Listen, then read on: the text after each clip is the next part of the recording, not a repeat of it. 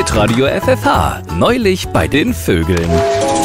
Verehrte Fluggäste, auf Ast 8 erhält ein Flug der verspätete Schwalbenschwarm aus Marokko zum Weiterflug nach Berlin. Na, Herr Kiebitz, auch aus dem Winterurlaub zurück? Ja, gerade gelandet.